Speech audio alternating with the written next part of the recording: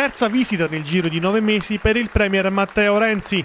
Oggi come ad agosto 2015 proteste e fischi, questa volta a manifestare fuori dell'auditorium Renzo Piano tenuti a distanza da un rigido cordone di uomini delle forze dell'ordine, precari della giustizia, lavoratori dell'ex Paolo Elettronico e dipendenti del call center a rischio licenziamento. Ad attenderlo all'interno della struttura realizzata a ridosso del castello cinquecentesco il presidente della regione Luciano D'Alfonso e il sottosegretario Claudio De Vincenti. L'appuntamento è di quelli che per il governatore entrano di diritto nella storia dell'Abruzzo. Viene posta la firma sul masterplan, il megapiano da 77 opere pubbliche per un miliardo e mezzo di investimenti, dalle piste ciclabili al sistema dei porti e dei trasporti su gomma, dalla cultura al potenziamento dei bacini sciistici.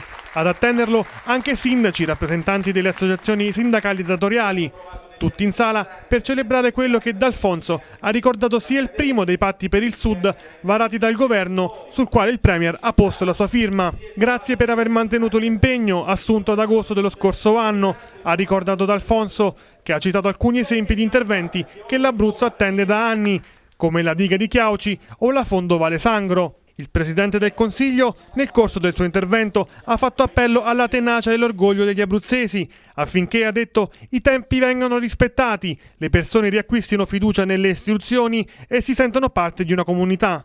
Ma riconosco nella passione e nella cura del singolo progetto un coinvolgimento che è lo stesso spirito che ha portato me e tanti altri a fare il sindaco e fare l'amministratore. Cioè, in altri termini, il tema del master plan, per il quale anch'io ringrazio Claudio, è uno straordinario strumento perché tiene insieme l'infinitamente piccolo con l'infinitamente grande che ogni sindaco deve fronteggiare. Dalla macroeconomia al tema dei migranti, passando per i risultati del Jobs Act e le riforme costituzionali, temi di alto respiro che però alla fine hanno condotto al cuore della giornata, i 77 progetti del Masterplan che da domani dovranno iniziare a prendere corpo. Il Premier ha salutato la platea dando appuntamento al sindaco dell'Aquila Massimo Cialente entro fine agosto e annunciando una prossima visita alla città di Pescara.